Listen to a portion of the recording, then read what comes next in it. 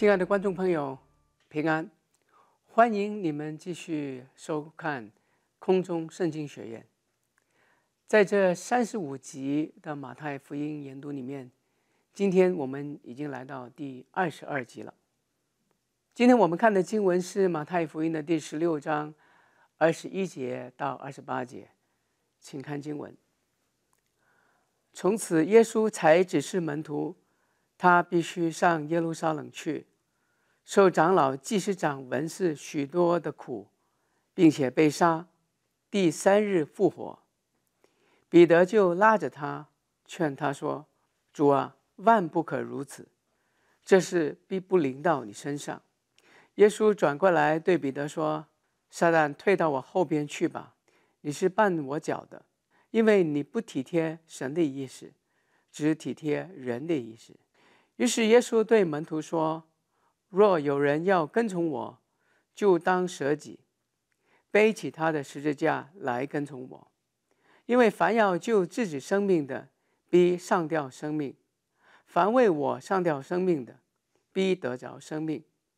人若赚得全世界，赔上自己的生命，有什么益处呢？人还能拿什么换生命呢？”人子要在他父的荣耀里，同着众使者降临。那时候，他要照个人的行为报应个人。我实在告诉你们，站在这里的，有人在每场死位以前，必看见人子降临在他的国里。耶稣的工作进行的非常的顺利，他所做的都十分的成功。也吸引了许多的人。饥饿的人有宝足，患病的人得到医治，伤痛的人被抚慰。无论耶稣的行动或是他他的讲论，都显示出耶稣那无可比拟的权柄和能力。尽管有一些的法利赛人不断的在找耶稣麻烦，除此以外。耶稣的工作是非常非常顺利、非常非常的成功的，所以门徒应该没有什么可以埋怨的了。毕竟跟随耶稣的群众是越来越多，就好像巡游一样。那么路旁两边常常站着许多人在夹道欢迎、呐喊着，欢迎耶稣和他的跟从者。耶稣的工作的确进展的。非常的顺利，直到那一天，当耶稣和他的门徒来到该萨利亚腓利比境内的时候，耶稣问门徒：“别人怎么谈论他？”哎，我们都说，呃，有人说你是先知以利亚，呃，另一位说，呃，耶利米，先知耶利米，还有一个说，也许是先知中的一位吧。的确是，耶稣的工作，耶稣的能力，耶稣的权柄，就好像在旧约里面他们所谈论、所期盼的那一些先知一样。最后，耶稣就问门徒他们自己的看法了。那你们说我是谁啊？彼得几乎是马上的回答：“你是基督，永生神的儿子。”答得甚好。耶稣满意的。点了头，所有在场的门徒都舒了一口气，好像那个艰苦的考试已经过去了。只是耶稣没有停下来的迹象，他竟然嘱咐他的门徒不可对人说他是基督。耶稣的吩咐究竟有多真呢？他葫芦里是卖的是什么药？他说的叫我们不要告诉别人他是基督，是什么意思呢？门徒心里面一定是嘀咕着，不明白为什么耶稣不让他们告诉别人耶稣是基督。可这真的叫门徒困惑懊恼的，其实还没有完。这当耶稣继续开口讲的时候，才是让门徒觉得非常非常困惑的，也就是我们今天这经文的内容。耶稣竟然开始告诉门徒，他必须。上耶路撒冷，而且受长老、祭司、文士许多的苦，而且被杀，第三天复活。耶稣的话是什么意思呢？这不是无聊透顶吗？这不是匪夷所思的怪论吗？一路以来都那么的成功，那么的顺畅，只会成功不会失败的，呃，怎么会受苦？怎么会逼迫？怎么会被逼迫？怎么会要死呢？门徒都不明白。大概彼得很不耐烦的，他就劝耶稣。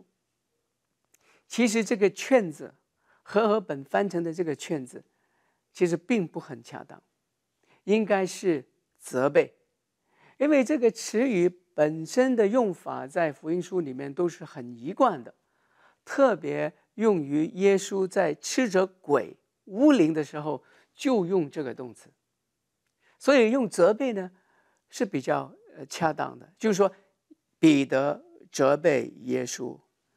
因为他不满耶稣所说的，不同意耶稣所说的，不喜欢耶稣所说的，就叫他不要讲。就彼得责备耶稣，所以和合本修订本还有所有呃圣经的译本呢，现在呢都翻成责备，也就是彼得责备耶稣，是忍不住耶稣那让人泄气的话。好像就是说，老师，呃，快别乱讲了，这些事情是绝对不会发生在你身上的，也不会发生在我们身上。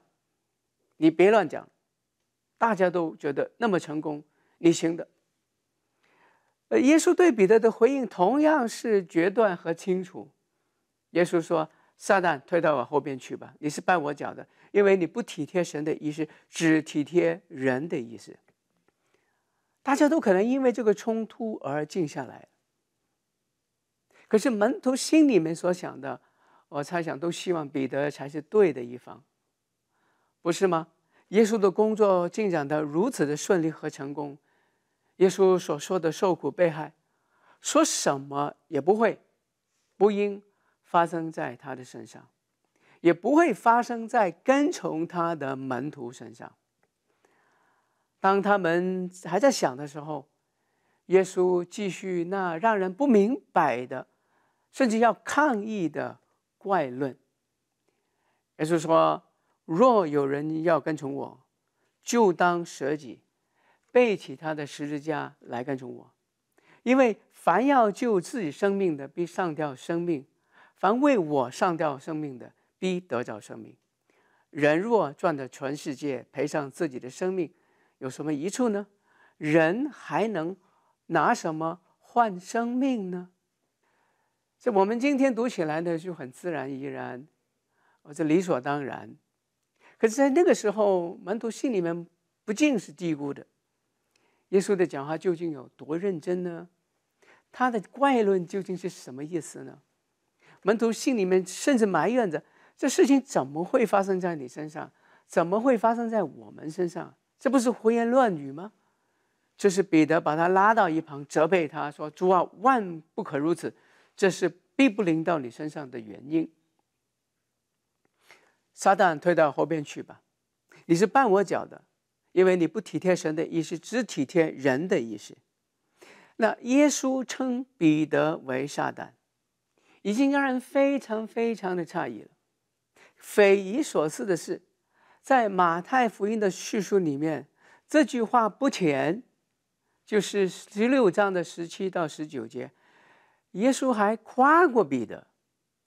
耶稣还夸奖彼得说：“西门巴约拿，你是有福的，因为这不是属血气的指示你，乃是我在天上的父指示你的。我还告诉你，你是彼得，我要把我教会建造在磐石上，阴间的权柄。”不能胜过他。我要把天国的钥匙给你。凡你在地上所捆绑，在天上也要捆绑；凡你在地上所释放的，天上也要释放。这段经文我们上一集已经讨论过了。这里我们这里我们可以搁下，不去处理。不过整段经文的那一种的味道呢，是很清楚，是耶稣对彼得的肯定和夸奖。纵然我们已经说了，彼得不是那个磐石，他也不是教会的根基，可是彼得的位置，彼得的从神那里得到的那种启示，以致能够说耶稣是基督，是耶稣所肯定的。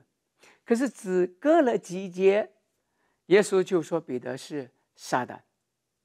这是不是让人觉得很诧异、很不寻常呢？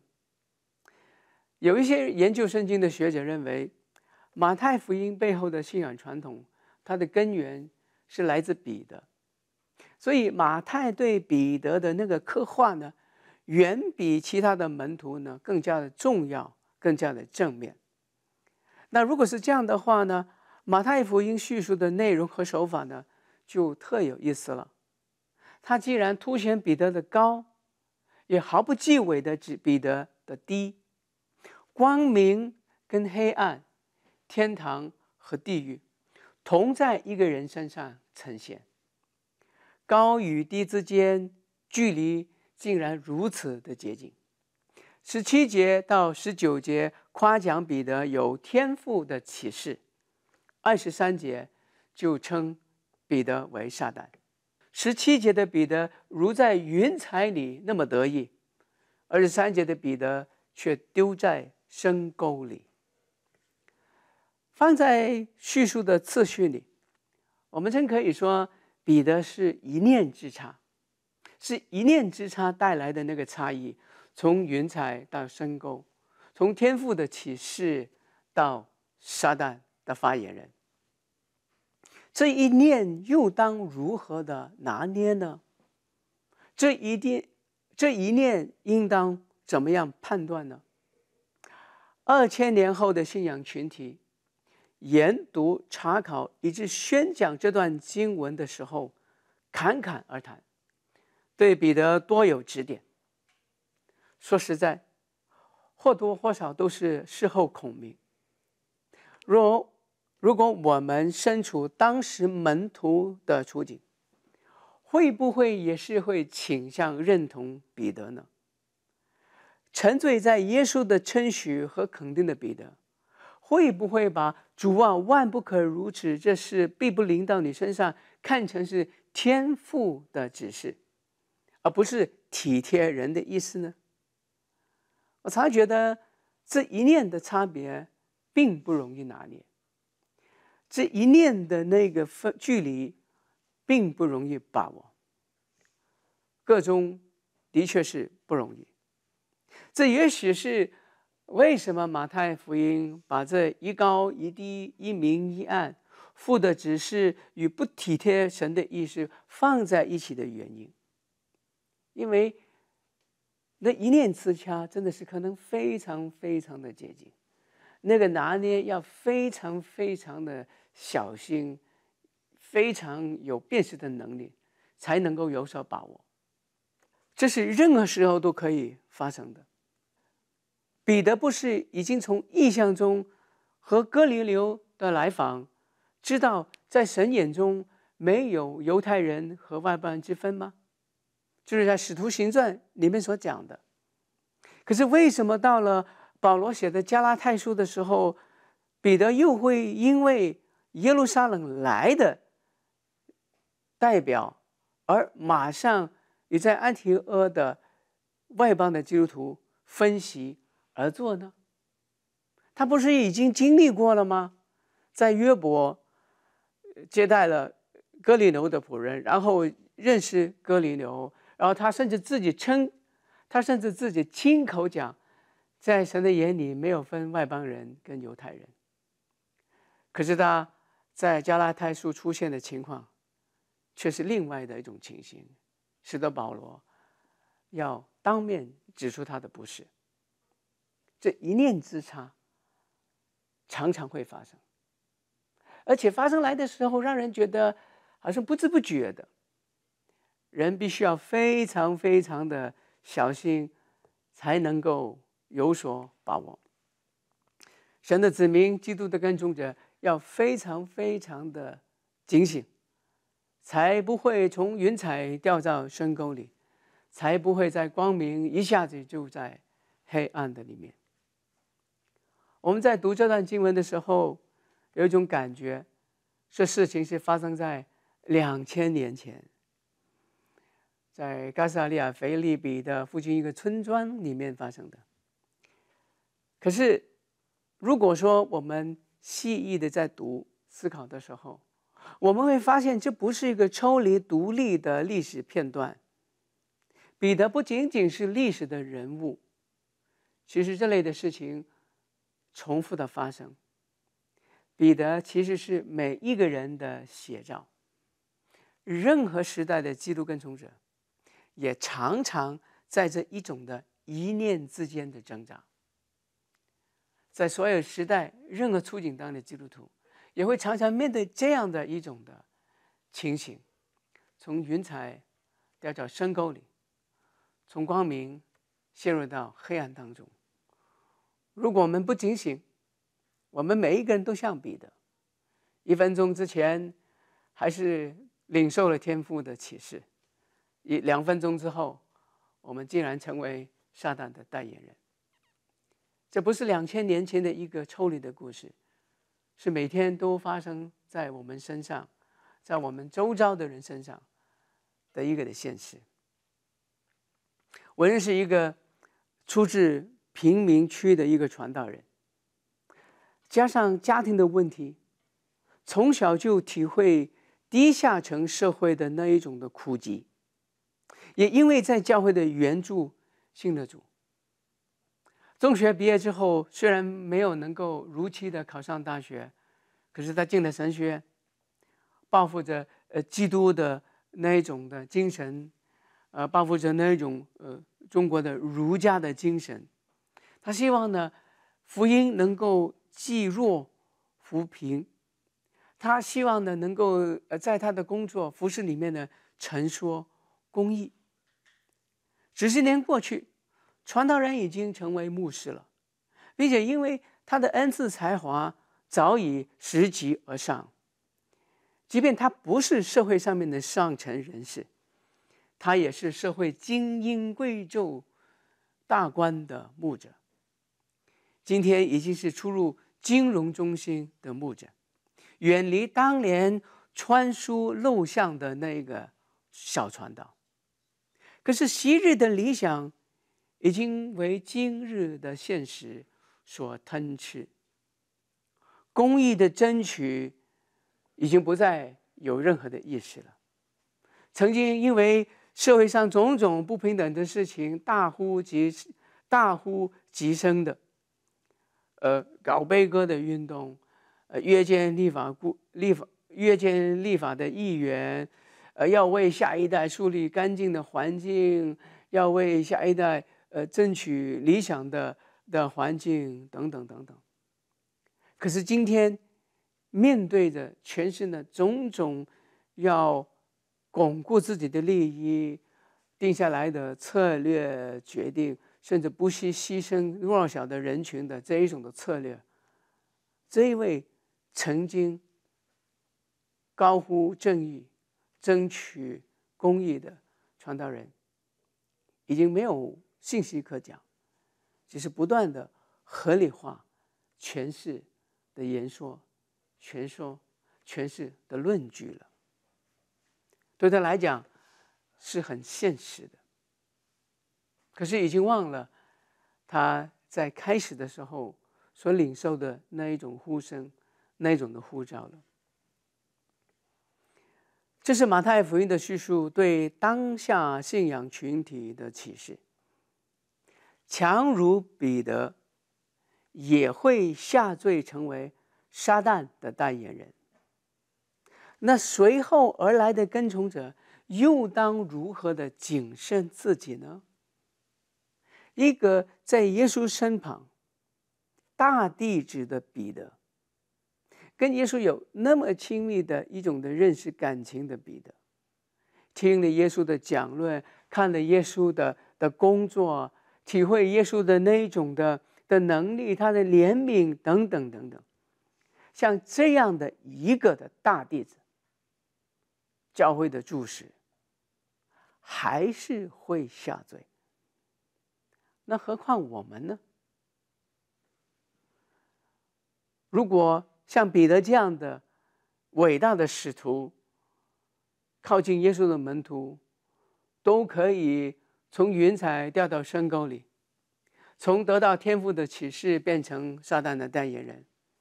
我们这些又当如何的谨慎呢？这是马太的叙述对当下信仰群体的启示。即使是彼得，马首是瞻的这样一个领袖，也会下坠。信仰群体教会毫不含糊的记下这一笔。如果我们忘记马太叙述的叮咛，下坠的不单只是一个人，下坠的是整个的群体了。不仅仅个人会下坠，教会。也会下坠。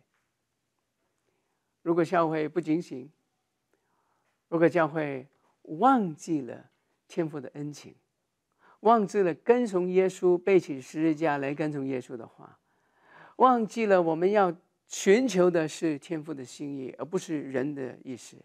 我忘记了我们要以上帝的国和他的义为我们生命的核心。当我们忘记这一切，教会是会下坠的。我们都熟悉教会历史。谈到教会历史的话，我们都会记得十六世纪的宗教改革。那当然，宗教改革也许要再早一点点，不同的人已经开始。不过我们记得很清楚，通常会说的就是十六世纪。那如果说再说哪一些人的话呢，在许许多多的先贤的里面，我们一定会说马丁路德。马丁路德对呃当时候的腐败的呃罗马工匠的的批评的指责，然后后来分支出来所谓出现的一个是所谓的更正教，那再往下去演绎呢，就成为所谓的后来的信义宗或者路德宗等等等等等等。我们在看为我们在看教会历史的时候，我们说这是先贤。做了很伟大的工作，能够脱离腐败的教会的传统，回到圣经，回到上帝的心意，把人带到呃，把人带到真理的里面，把人带到神的面前。这是何等的美啊！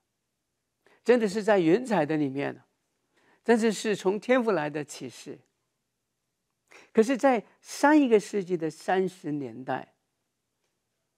当这个希特勒还有纳粹党兴起的时候，笼络了教会，教会下坠。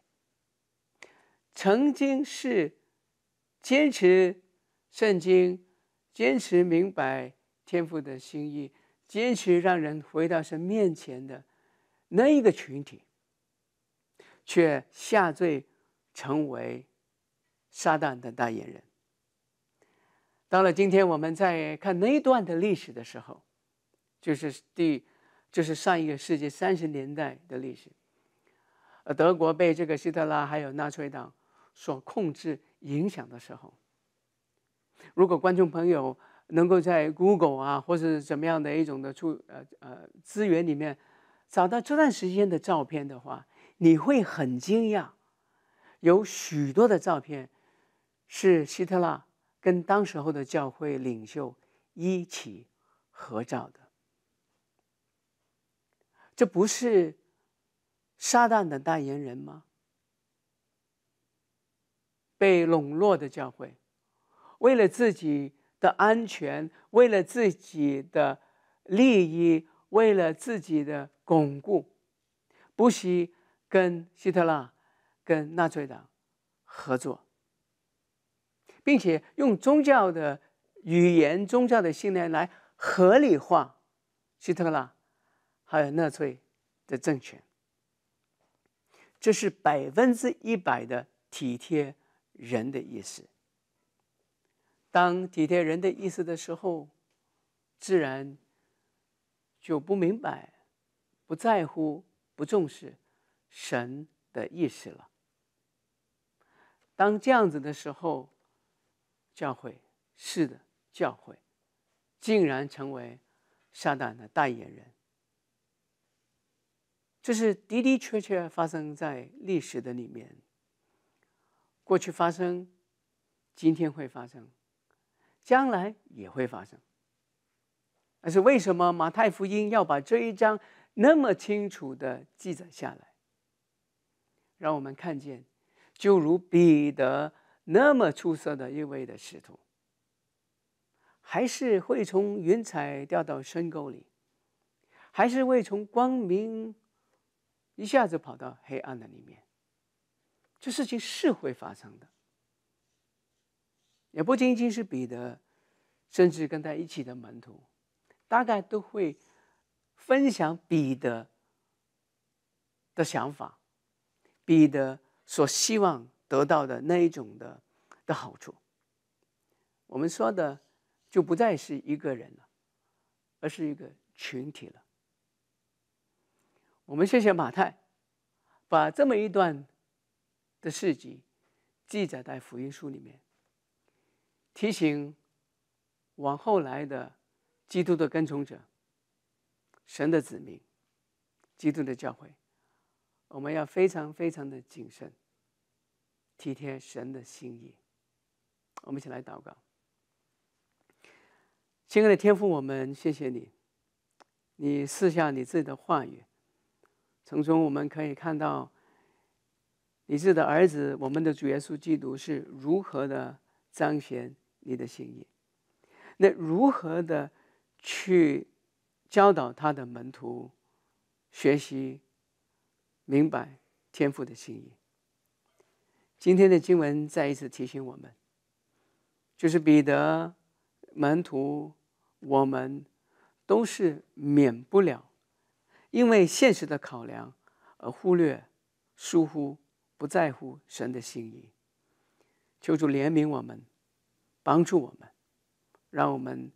常常以神的意识为念，忠心的跟随耶稣，这样的祷告立志靠耶稣基督的名求，阿门。